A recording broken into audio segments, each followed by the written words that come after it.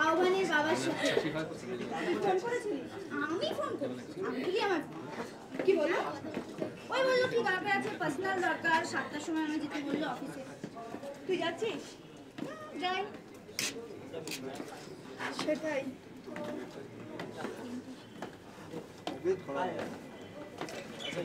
এই পিঙ্কি শোন আহ, আহ্বান এসছে?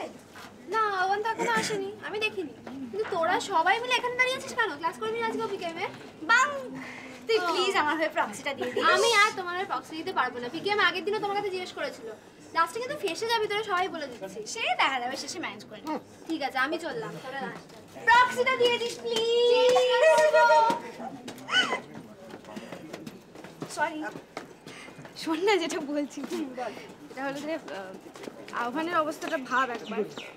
ডু সামথিং ফর হিম আমার মনে হয় যে আঙ্কেল আমায় ফোন করেছে আমার যাওয়া উচিত। কারণ যখন দুটো মানুষের রিলেশন আর কি ডিটোরিয়েট করে যায় তখন একজনের কাছ থেকে শুনে কিন্তু কোনো ডিসিশন নেওয়া উচিত না আমার মনে হয়। সেজন্য আমি আঙ্কেলের সাথে কথা বলি না যাই না। চল আমিও তোর সাথে যাচ্ছি। কোথায়? এই তো বললি আঙ্কেলের কাছে যাবি সাতটার সময়। তো আমার তো একা ডেকেছে। কেন? আমি গেলে প্রবলেমটা কোথায়?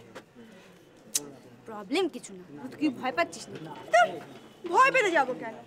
তার মানে আজকেও তুই পিকেএম এর ক্লাসটা করছিস না তাই তো? বিকেএম এর ক্লাস করতে আমার ভালো লাগে না সিম্পলি মানে সিরিয়াসলি কেমন বিলুকে নিয়ে কিরম করে বল কিরম অপদস্থ করে? সেটা যা বলেছিস। অদ্ভুত টাইপের লোকটা। সত্যি। আচ্ছা শোন আমরা তো এখন একটা কাজ করতে পারি। কি? এখন তো ক্লাসটা যখন করবোই না তখন একটা ট্যাক্সি নিয়ে চল না আমাদের বাড়িতে চলে যাই।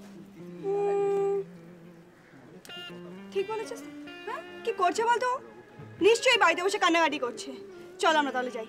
চল তাহলে ঘুরে আসি আর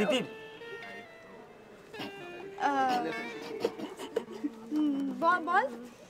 শোন না তোর সঙ্গে আমার কিছু দরকার আছে। না এমনি তোর সাথে আমার কোনো দরকার থাকতেই পারে না। অনেক কথা শোন না। না না শোন না আমি বলছি যে আমি জানি যে তুই কি বলবি আর কি। মানে একই কথা মানে ঘ্যান ঘ্যানে টিভি সিরিয়ালের মতন হাবা করিস না আমার ভালো লাগে আচ্ছা আচ্ছা তুই আমাকে দশ মিনিট সময় দে। একদম- একদম দশ মিনিট না এক সেকেন্ড সময় নিস শোন। তুই তুই একটা কাজ কর তুই কালকে না কালকে তো কালকে কাজ আছে। কাজ আছে তো পরশু পরশু তুই পরশু তোর সাথে কথা বলবি। ঠিক তো? হ্যাঁ একদম পরশু ঠিক? হ্যাঁ তুই একটা কাজ করিস তুই জাস্ট আমাকে একটা ফোন করে নিস আমি